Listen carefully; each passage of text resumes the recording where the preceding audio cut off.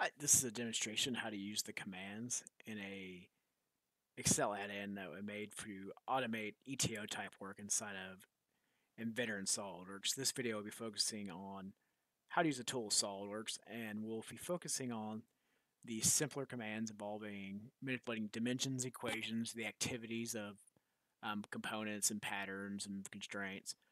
And we'll go through how to set visibility on a couple things, and in a separate video, go through some of the more complex and more SOLIDWORKS specific um, tools like configurations and weldment configurations. So we'll start with uh, going through how to use the basic dimension command. So a dimension, we'll go and pull up a tool added in. So this tool will captures data inside of SOLIDWORKS, so you don't have to type it in. So we're going to go and capture the data in SOLIDWORKS as the open model.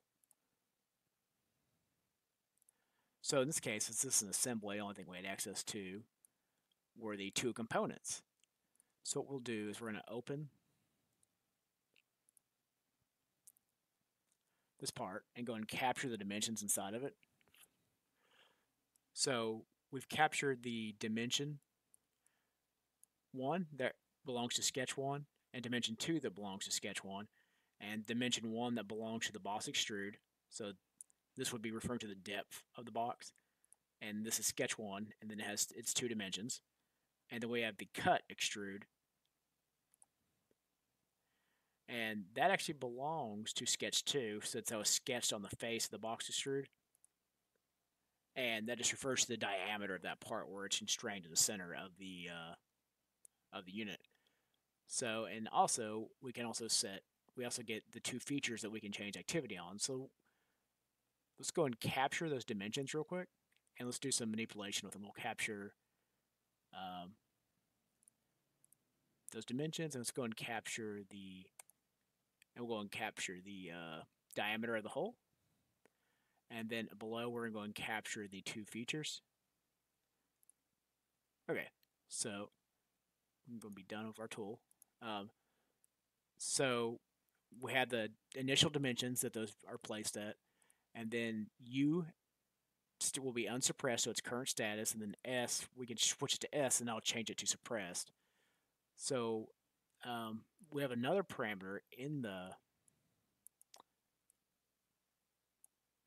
we have another global we have an equation set here in the global variables for depth. So to set depth, what we're going to do is we'll we're to so and set an equation up for um, so equation. And that's going to be equal to depth. Or depth and it's going to belong to the example part again. And we'll set that to its initial value of 40 okay and what we can also do and so we don't have to manually type these in is we're going to go and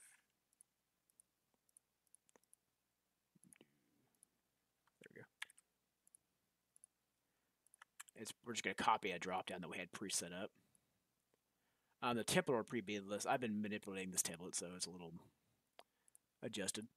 So, um, so now we got those set. We're going to go and close this out. And we'll close this part out. So now that we have those pulled up, let's we can do some manipulation on those. Let's change these to 30, change this to 15, and we'll change the depth to 30 to match. And we'll go and build it real quick. Alright, and again, this would be in Excel. If you wanted to, you could do something as simple as say this equals um, F2, and we'll just copy that there and there. Oh, F2. And now we can just change that. So this is part of what Brett made this tool really useful is since we're just building on so much legacy tooling that Excel had built into it, we didn't have to reinvent the wheel.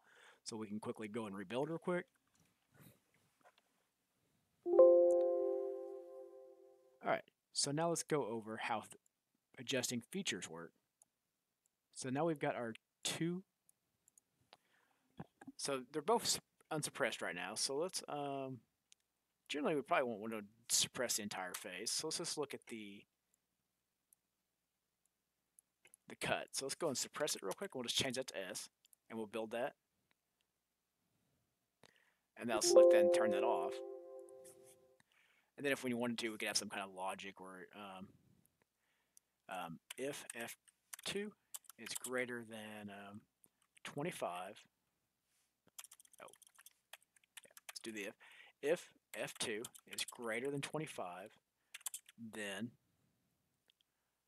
um, we're going to say it's going to return s, or we'll say it's used, so the feature will be active, and we'll have it return s to say the feature is inactive. So we'll say this is equal to f3, Alright, so now based on our dimensions, we can sit there and change it like that too. So again, that's just based on if you have certain feature rules that get set up, you can set them all up here.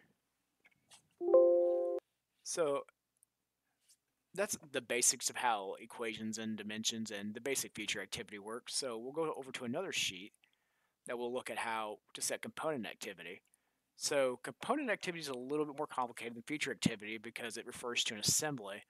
So when a document's inserted into an assembly, it becomes a component. So it has a, an occurrence number. So we can see that here in the tree. So this has been an example, and the number inside the carriage is 1. And this is document example with its uh, occurrence number being 2. So one of the quirks with the SolidWorks API is this is how it's represented in API. So we send it back to SolidWorks in that fashion. So we can either control visibility this way or activity. So based on the commands, so in this case, we're sending in an activity command. So we're going to say these are both unsuppressed. So let's go and suppress both of those, just changing that to S. And we're going to change that back to U.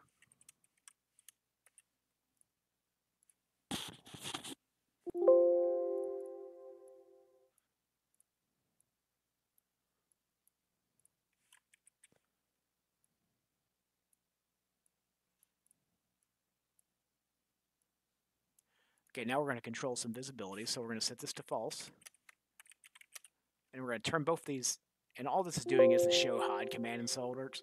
So if you wanted to do it, just to invert it manually, you just do show components, and now they're both visible. And you just run it again and turn it back off if you didn't want them. So this could be useful for setting up certain things of drawings or maybe a step file representation you're working on. All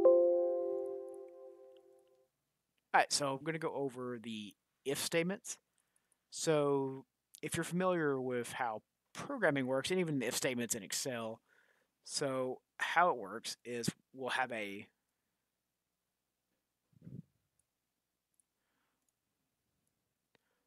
we'll have a block of code. So what we'll do is we'll give it a boolean value to process Boolean values to process the lines inside the block. If true, then the values will be processed. If not, then it will be skipped. So it must be followed by an end if you get an error. So if the condition is false, the application will find the end if and skip down to that section. So just to kind of show how it works. So we're going to, this quick little example. So we're going to set a property in the model and we're going to call it description and we're going to set it to a value. So, and then we're going to, if, we'll go and change this to true. So if true, then we're going to set the property to if works. And we're going to get the property of description, and then it's going to write that value back out here. So then we're going to have another if. So if F11 equals F9, and then we'll process another if where we'll set the description again. So let's go and run this through real quick.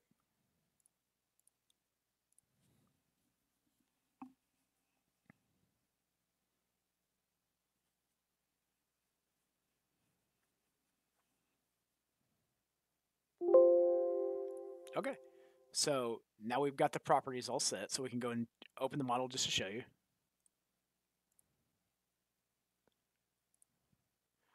So now we have our property set. It does work. So let's go and run that through again, and let's set that to false. So this time when it runs through, it will not make it down to this block.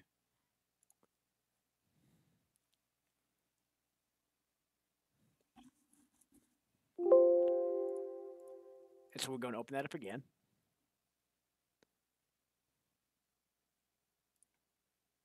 So just a value. So it never made it down to the next block to set it. So this is another example of just how to use if statements. And it's also a good example of how to use get properties. So if we wanted, if you have a bunch of properties and you be setting the model, this can go through and set them all in one quick, if it's, especially if you have something that's based off an Excel file. Um, also, if the property does not exist, set property will go and create it. And if get property can't find it, it will put in a not found in the value.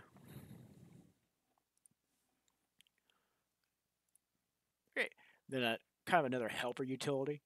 So if you have a whole bunch of documents in a, an assembly that need to be turned off, just based on their document reference.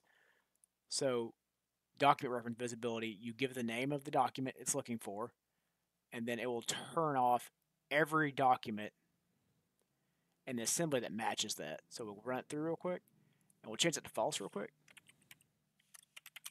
So this will go and turn those all off.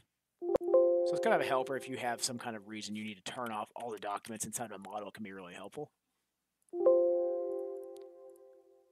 Okay, so the next command I want to go through is repeat. So again, those familiar with programming, there's a concept in programming called loops. So this kind of duplicates that structure. So we'll have a repeat and end repeat. So what repeat does is anything inside the repeat to end repeat block will get repeated a set number of times. So in the value column, you'll enter the number of times it needs to repeat, and then value 2, the current value of the repeat will be printed out, and values between repeat and repeat will occur until index matches the count number. So basically what that means is we're going to set this up for a repeat with a value of 4, and then we'll just set this to 0. So this is the number of times it will be repeated, and then this will be printed out. So what's useful about having the printout here is then you can then reference that printout to do manipulations in the model, or even do manipulations for properties, or even if you just needed to do manipulations in Excel sheet, you could if you needed a simple for loop construct that just didn't exist for you. So what we can then do is we can we're going to concate a value and just using Excel's concat. So we're going to take value and append the value of G7 to it. So every time it increments, it's going to do value 0, 1, 2, 3, 4. And then this is going to take um, and insert the property in there. So let's go and run this through real quick. So what we'll do is we'll go and open our part real quick, and we'll delete the properties out of there ahead in there.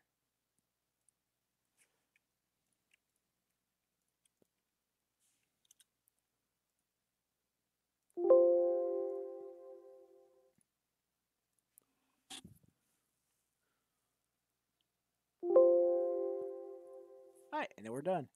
So that's a pretty quick way to, if you have a whole bunch of, this can be pretty useful if you have a whole bunch of uh, occurrences that have similar structures to them. Like if you had block, uh, document block A, B, C, and D, and they had multiple insertions into an assembly, and they did have a common dimension or something between them, you could have it cycle through each one of those based on their occurrence numbers. So I hope you found this video useful. Um, I'm going to make a couple more explaining some of the more advanced functionality. Thank you for watching.